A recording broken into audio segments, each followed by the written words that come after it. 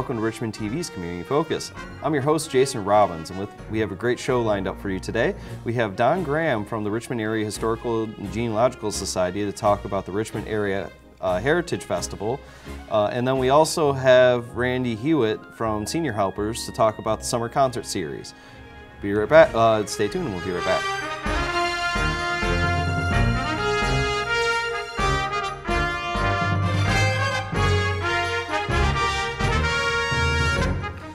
And welcome back. Our first guest today is Don Graham. How are you doing, Don? I am well, thank you.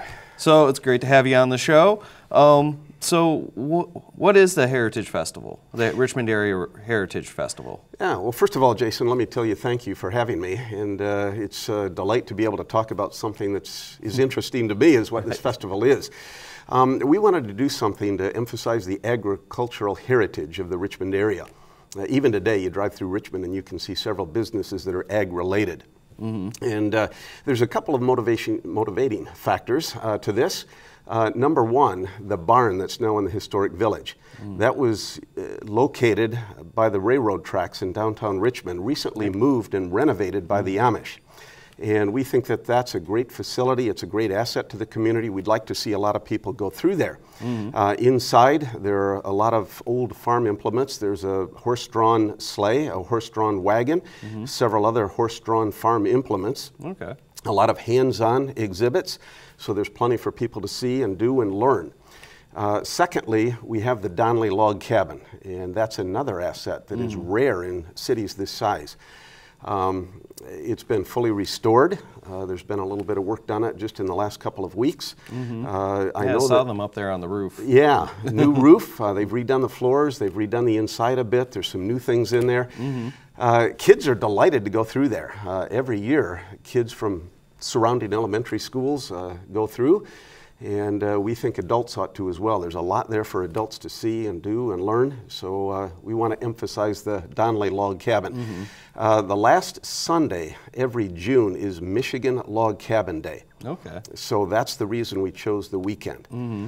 And I suppose there's a third motivating factor. We want to do what we can to educate people, not only about the agricultural heritage, but about uh, things that were done in bygone days. Uh, we want to try to stimulate uh, the creative side of children. Uh, mm. we want to encourage people to think about engineering skills that right. were involved in this. Mm-hmm. I mean, if uh, some of your listeners' kids or grandkids are interested in engineering or science, uh, anything like that, they'll probably benefit from a visit to this place. Mm-hmm. Um, so that's, that's the reason, that's why we're doing it.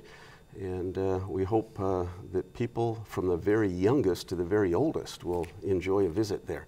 So you talked about the barn, you talked about uh, the log cabin. Mm -hmm. uh, so all these are located at the historic uh, village. So is the entire Heritage Festival taking place on uh, in the historic village? It is. It is. Um, it's on Park all, Street, correct? On Park Street, uh, right near the intersection of Beebe Street, right across the mm -hmm. road mm-hmm. from Beebe Street Park, uh, part of Bailey Park, and all of the events. Uh, there'll be horse-drawn mm-hmm. uh, hay rides from 10 to 1 on Saturday, and we think on Sunday as well.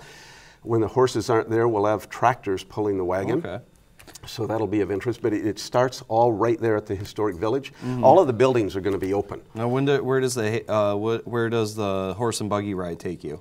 Uh, it'll take around uh, take I was going to say us and them in the same word, which is awkward, but it'll take visitors around uh, the Little League fields and okay. around uh, uh, Beebe Street Park. Okay. So, um, so, um, what are uh, what are some of the uh, events that you're going to have going on during that time? Yeah, uh, I started to say all of the buildings are going to be open. That includes the museum, it includes the one-room schoolhouse, mm. it includes the train depot that uh, dates. They called it a whistle stop to be technically correct, back to the 1800s. The log mm. cabin, uh, the barn, obviously. Uh, we're going to have a petting farm for okay. the children. So kids can get up close and personal with mm -hmm. farm animals, learn how people take care of farm animals today. Uh, we're going to have several antique games for them to participate in. Uh, uh, there's uh, going to be a lace maker there, mm -hmm. hopefully candle maker, a lady spinning wool. Uh, in essence, it's going to be like a mini Greenfield village. Okay. so, so at each of so at each of the buildings and everything, you're going to have you're going to have people who are doing some kind of presentation, either on spinning wool or lace or any of those things that that the way they used to do things back in the old times. Exactly right. Uh, we call them docents, Mm-hmm. but there'll be people that can answer any question that you've got about either the building or the things in the building. Mm-hmm. And in addition, uh, the highlight of the festival will be a, a tractor display. Okay. Uh, we are going to have lots of tractors there. Mm-hmm. Uh, some uh, will look museum quality. Uh, some of these farmers, they take these tractors, they take all the sheet metal off, all the nuts and bolts, Mm-hmm. the pistons out, the piston rings, and uh, they redo it. And they're shiny and pretty, and it looks like they'd ought to be on a museum uh, uh, Mm-hmm. floor. Some of these tractors date back to 1920. Uh, some of these tractors are worth ten, many tens of thousands of dollars. Mm-hmm. Uh, other tractors will look like somebody just drove it off the field onto a trailer and brought it. Uh, uh, some of those will be there as well. Okay. And uh, the owners will be there, and they love to talk about these tractors. So it'll be a great opportunity to uh, to take a look at those. If anybody has an interest in mechanics, um, great Mm-hmm. Do you- opportunity. where exactly are those going to be located in terms of the fest, uh, of the of Bailey Park and the historic village? Yeah, the city is going to shut down Park Street for us. Okay. And uh, so the tractors will be lined up right along Park Street. So it'll be easy to get up and close to those. Okay. Um, so you mentioned that there are going to be some old timey games. Can Mm-hmm. you describe uh, some of them for us? Uh, yeah, I wish I had the list in front of me, but uh, they're going to be able to take some old clothing and wash it with the old scrub boards. Uh, There's going to be um, pulley That's games game? and rope making. Well, it sounds more like work, doesn't it? Uh, for kids, they probably see it as a game. We see it as work. Uh, um, but uh, rope making, uh, there's going to be a bean sorter that they can run, uh, hula hoops. Uh, there is a bean toss. Uh, there's a man that has put together uh, the wooden platforms, I don't know what you call them, but the bases Mm-hmm. with a hole in it, and the kids can toss old gloves filled with corn uh, into those holes. So, cornhole toss, I think, is the proper name for it. Uh, there's going to be candy scrambles uh, for different Mm-hmm. ages, where we're going to mix uh, the candy into the straw or sawdust, whatever we uh, use, and uh, they'll have bags, and they can go in there and grab the candy Okay. and uh, so forth. So there'll be uh, quite a bit to do. Uh, again, as I said earlier, we kind of want to stimulate the creative side of, of kids and uh, get them actively involved with hands-on learning, kinesthetic learning. Mm-hmm. So the the Heritage Days Festival is uh, is on June 29th and 30th. That's right. Uh, Saturday and Sunday Yep. from 10 o'clock in the morning until 4 o'clock in the afternoon. Okay. And uh, another thing that I didn't mention, but probably should for uh, the viewers, um, we're going to have an antique sawmill there. I was just about to there ask are going you to be, about yeah, uh, people cutting up logs into lumber the way they did way back Mm-hmm. when. That will take place at 11 o'clock and 2 o'clock, both Saturday and Sunday. Okay. All right. Um, and what's the shingle mill? Um, there's a, it's kind of like a mini sawmill, belt driven from another antique tractor Okay. that will take a block of cedar, uh, I'll call it a trunk of a tree, but about yay high, and it cuts it into shingles. Okay. And then they're going to brand. Uh, they've produced a, a branding iron that talks about the Heritage Festival with a date and so forth. They'll brand that into the shingle, and uh, those shingles will be available for uh, a donation. Okay. Yeah. And it says on the flyer you're going to have food available. That's right. And uh, maybe I don't want to say this real loud, but the food is going to be free. A lot of it has been Okay. donated. And uh, in the uh, interest of fair and full disclosure, there will be a donation jar next to the food, but there's going to be hot dogs, there's going to be chips, uh, cookies, uh, trying to think what else, drinks, um, that it'll all be free. Oh, that's awesome. Yep. Um, so is there anything else you'd like to add? Well, uh, it will be an exciting time. It will be a family time. Is uh, at the risk of repetition, the youngest children to the oldest adults will find something of value there. Uh, if you were to see this at Greenfield Village, it would cost you $25 to get in. Absolutely free. Right. And it's a great community event, a great opportunity to see what's available there. I mean, this whole historic village, just a fantastic place. Uh, uh, if you're into horticulture, there are some ladies there that go to great lengths to make sure the flowers and the bushes are spectacular to look at. It does look beautiful It- over it's there. A, yeah, beautiful is the right word. Just a, a terrific opportunity uh, for to do a family event Okay. together as the family. So All right. Sounds good. Thank you, Well, Don, thank for you for having on the show. Not a problem. appreciate the opportunity to talk about it. Anytime. Next time you have a big, uh, you're having an event, come to the show.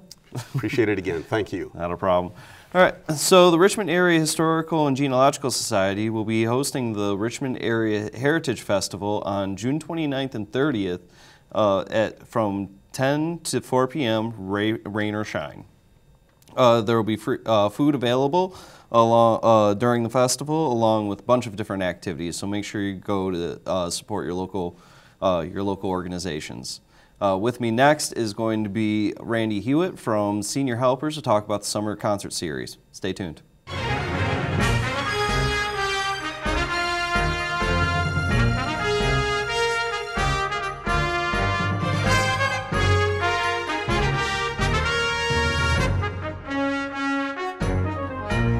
Hello and welcome back. With me now is Randy Hewitt from Senior Helpers. How you doing? Very good.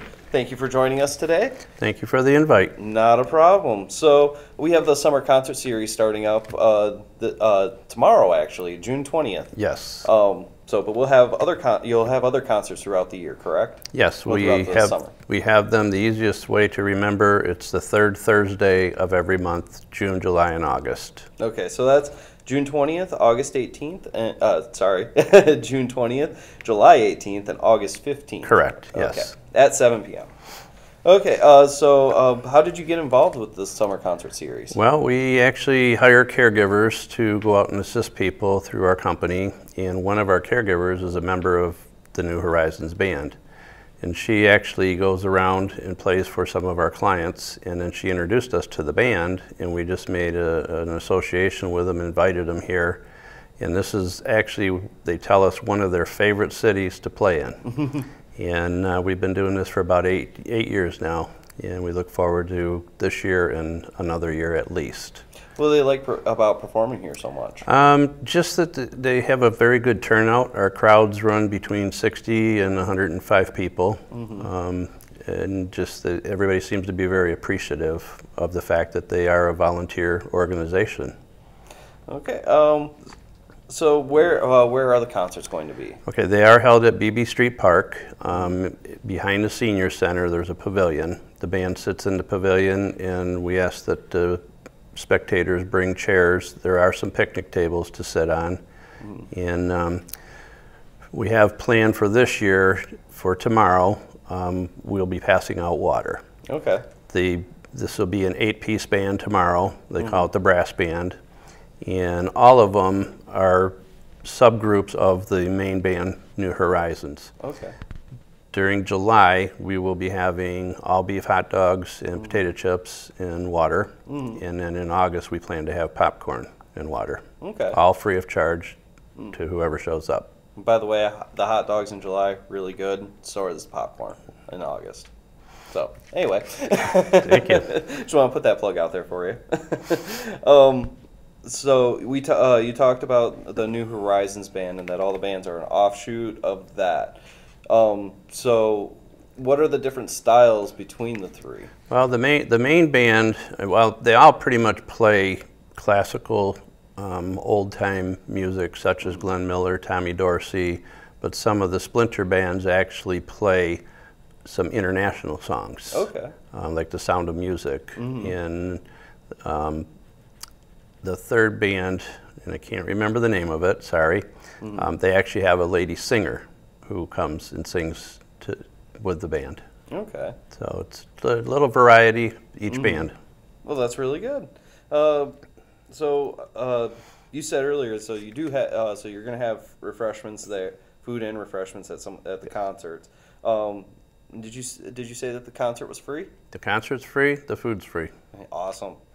Brings out a lot of people right there. Well, we, we wanted to provide something, we're in the senior care business, and we wanted to bring, bring something to the community that they can relate to and help get them out of the house on a beautiful summer evening. um, so how long have you been uh, have you been putting on the summer concert series? I believe this is our eighth or ninth year. Okay. Um, and every year you get a great turnout. With the exception of last year, was our first rained out concert one, one month. That's pretty. That's pretty remarkable. Over uh, eight or nine years of having that, and you only get one rain day. God's been good to us. Uh, so, now what do, uh, what are, uh, what are some of the services that senior helpers provide the residents of Richmond? well, our caregivers are, our caregivers are employees of our company. We are family owned and operated. My wife, myself, and my brother, and basically we try to help family members take care of their loved one mm. in the form of cooking, cleaning, laundry, housekeeping, errands, transportation. pretty much anything that a son or daughter would do for their parent, our, our caregivers can do as long as it's legal and safe for both of them. Okay. Now, uh, what uh, have you always been a resident of Richmond? Actually, no. I live in Chesterfield. Oh, okay. I located the business here. My wife grew up in Emmett. okay. So um, I passed through this town quite often while we were dating prior to getting married, and I just like this community. It's very quaint, it's peaceful, it's clean, and that's why I chose to purchase a building here, and right on Main Street. And the city and the community have been good to us. Um, I have been on the chamber board three, for three years, um, and I'm currently in the Rotary. I was past president two years ago. Uh, so we are very involved in the community. The community's been good to us, and this is why we give back with, in the form of the concerts. All right. Is there anything else you'd like to add? Just pray for good weather. All right. Well, thank you, Randy, for coming in and talking to us today. Thank you for giving us the opportunity. Anytime. Summer concert series presented by Senior Helpers will be on June 20th, July 18th, and August 15th at 7 p.m. located at the Beebe Street Park Pavilion. Uh, they'll on at the June they'll have water. At the July they'll have uh, hot dogs and water and chips, and then at the August concert they'll have popcorn and water available, all for free, and the concert is for free. So make sure you go check those out. And then uh, you can check us out on our YouTube channel, Richmond TV 12. And then you can also check out our uh, Comcast Channel 6 if you live within the Richmond city limits. I've been Jason Robbins, and thank you very much for, enjoy- uh, for joining us.